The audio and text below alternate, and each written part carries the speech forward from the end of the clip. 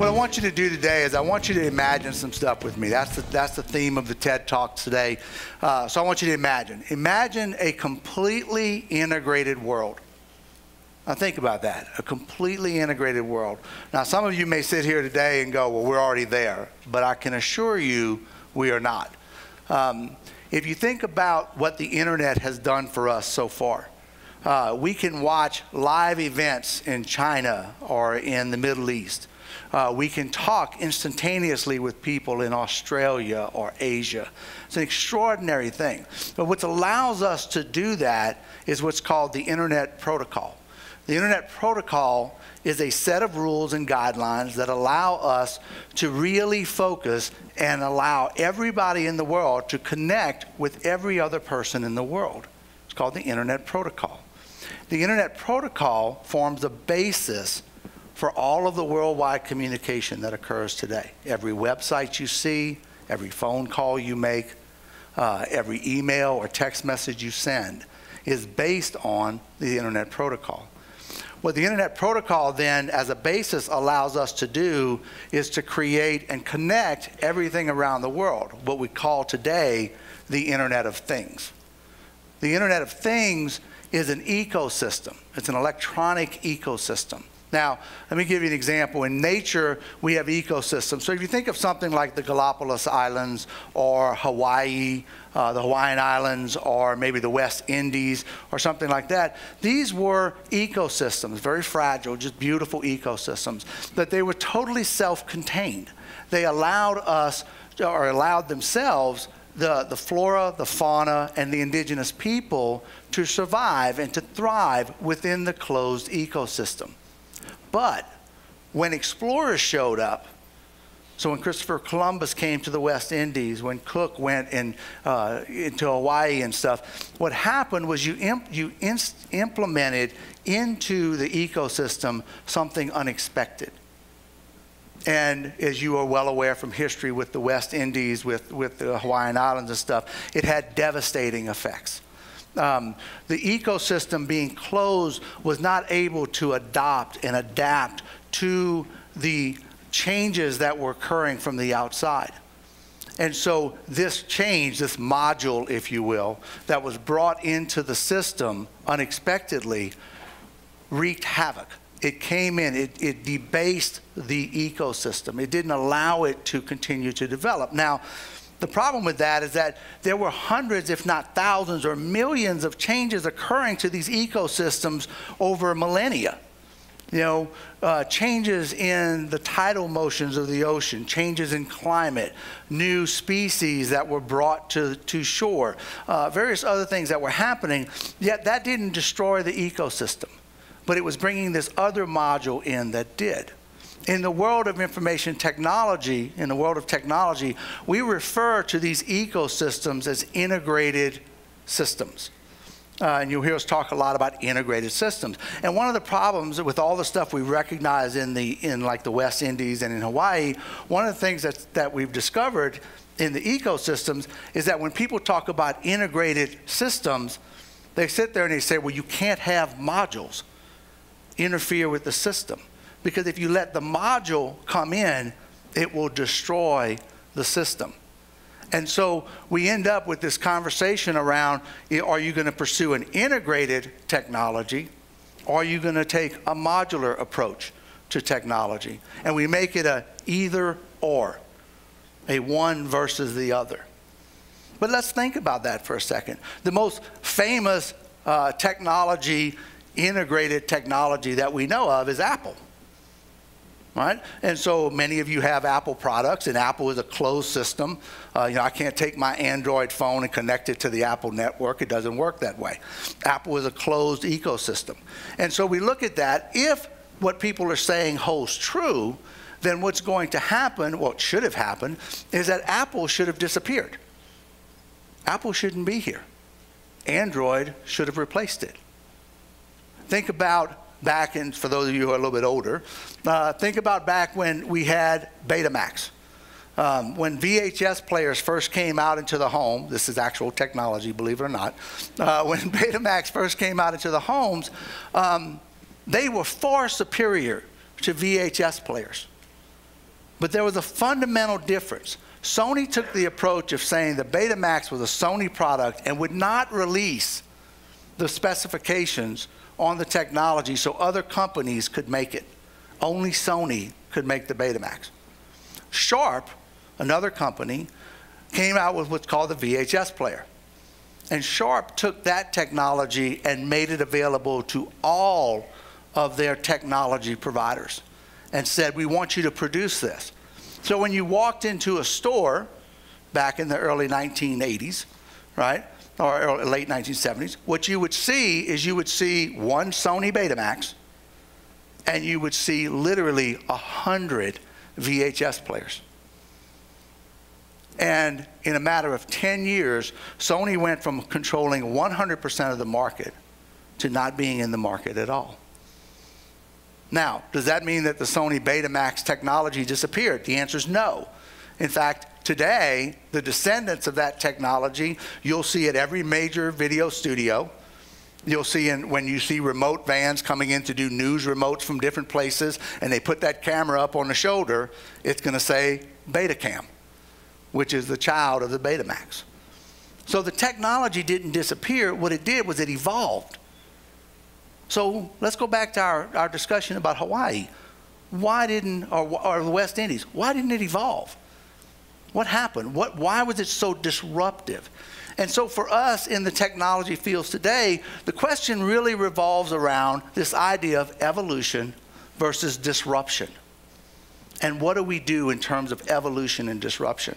Well, the reality is we have to create an ecosystem in infrastructure and in ideas and in culture and in technology around the world that allows us to absorb and continue to develop both the evolutionary component of what we're talking about as well as the disruptive component. We must be able to do that. If we can't, then the ecosystem will fall apart. So we went back, we talked earlier about the Internet of Things, and we talked about IP, right? Internet Protocol. And Internet Protocol gives us our baseline. It gives us our fundamental component that connects everything around the world, our ecosystem, the foundations of it. But then on top of that, we've got to add all of the things we just talked about the culture, you, me, creativity. All of that has to go in to create the ecosystem. Without it, if we leave bits and pieces out, the ecosystem never gets created. So, for the Internet of Things to be successful, for it to do the things that we want it to do, it must not only have the base that allows all of us to be part of it, but it must add on top of that the evolutionary components. So, as the Betamax evolves, as Apple evolves, as all of these other things evolve, it allows that evolution to occur. But when you have the module that shows up unexpectedly, and disrupts the evolutionary process, it must be able to absorb that as well. Now, technology is really good at the base part of this, right? Um, and people are really good at the disruptive part of this. Okay, uh, we, you know, I, I don't know. You raise your hand. How many of you think you're logical people?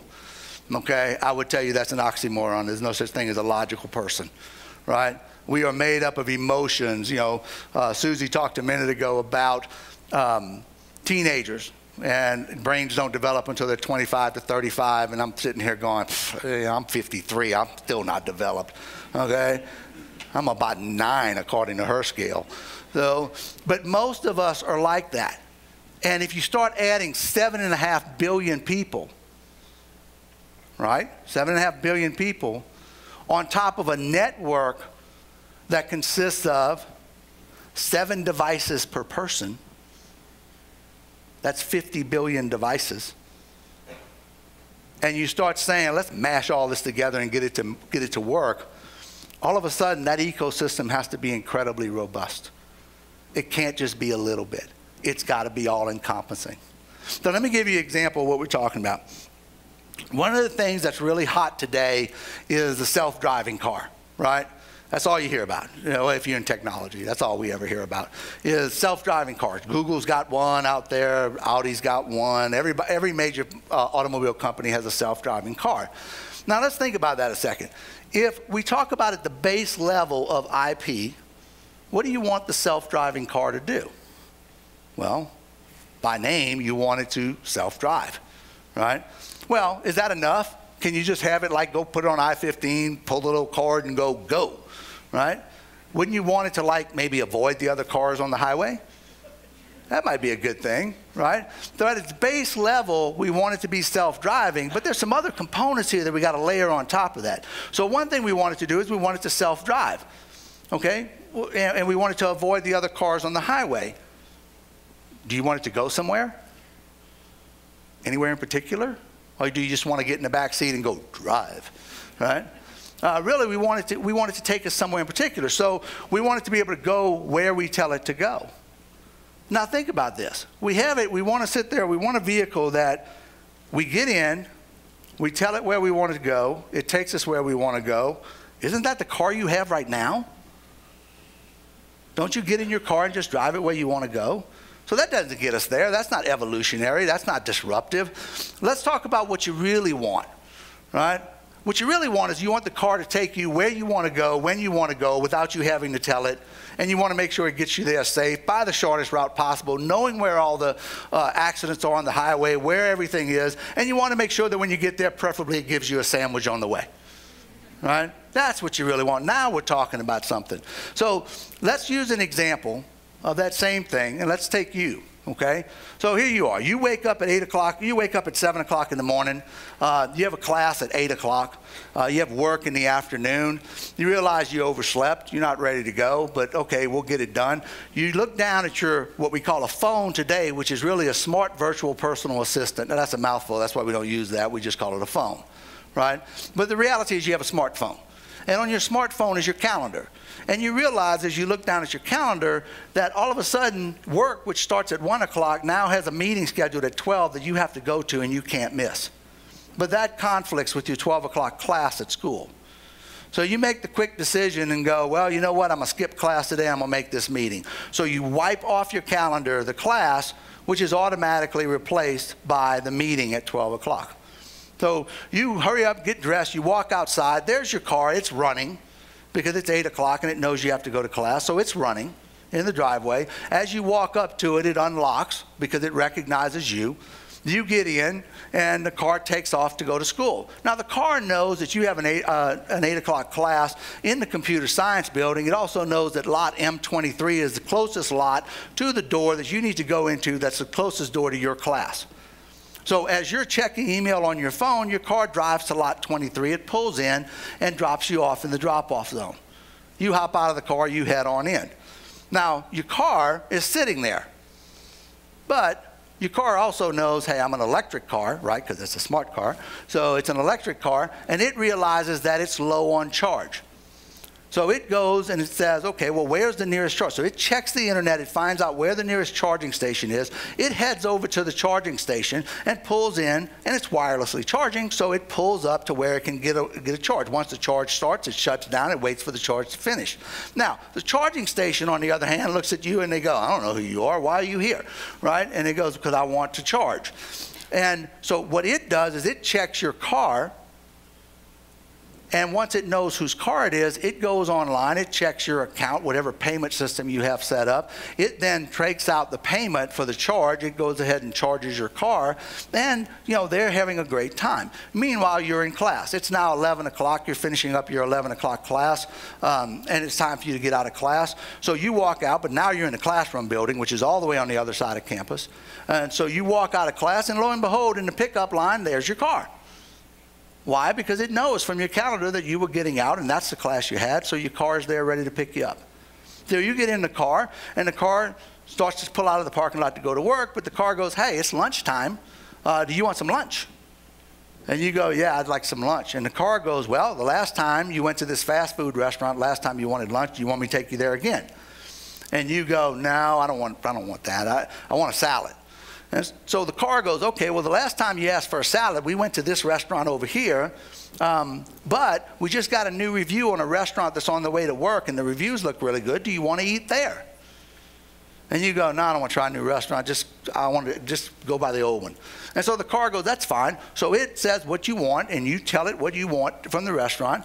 The car then places the order for you electronically with the restaurant, uh, and heads to the restaurant to pick you up, to pick up your food, and you're busy prepping for your meeting. Okay. Now, that's a really cool thing I just showed you, and you go, wow, that's really neat. Well, the reality is that everything I just told you exists today.